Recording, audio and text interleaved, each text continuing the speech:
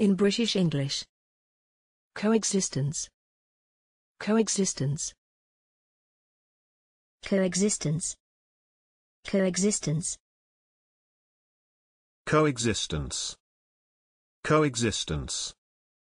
Examples in phrases and sentences. What is needed today is peaceful coexistence. A harmonious coexistence between wildlife and livestock. Thanks for watching this video. Please don't forget to subscribe.